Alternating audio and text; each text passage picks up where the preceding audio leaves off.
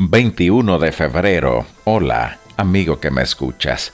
Hoy la meditación se titula Y Él se las dará. Santiago 1.5 nos dice, Si alguno de ustedes les falta sabiduría, pídasela a Dios y Él se la dará.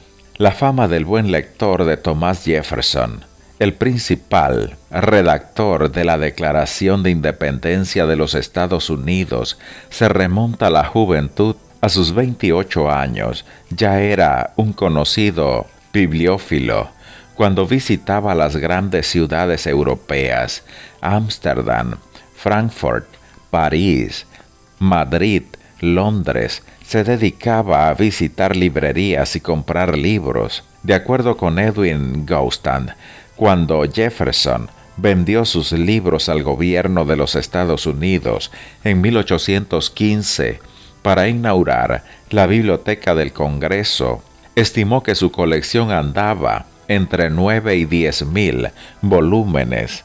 La pasión de Thomas Jefferson por la lectura lo indujo a abrazar la idea de la ilustración, aferrarse a la revolución baconiana y lo convirtió en un fanático de la lógica, de la ciencia y de las matemáticas.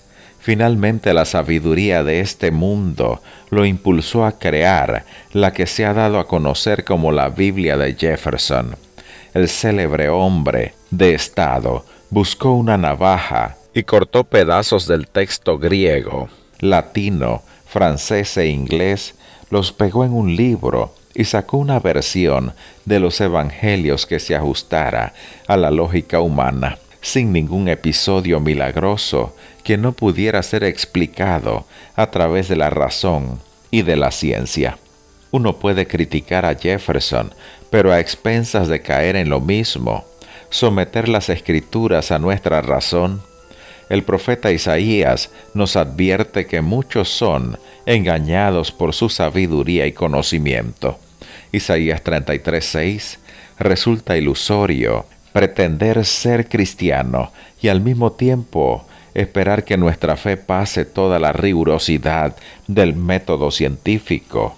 La fe bíblica trasciende de lo que es lógico y razonable desde la perspectiva humana.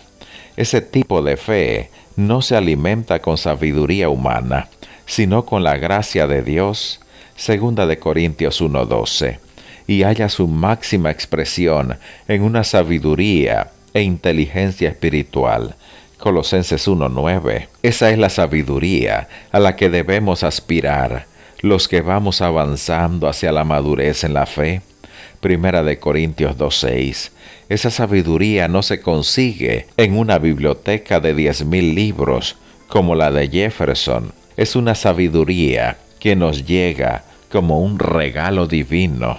Si a alguno de ustedes les falta sabiduría, pídasela a Dios y Él se la dará, pues Dios da a todos generosamente y sin menospreciar a nadie. Santiago 1.5 te invito a pedírsela esta mañana y cada mañana de tu vida. Que Dios te bendiga, apreciado amigo oyente, y te espero mañana para compartir una nueva meditación.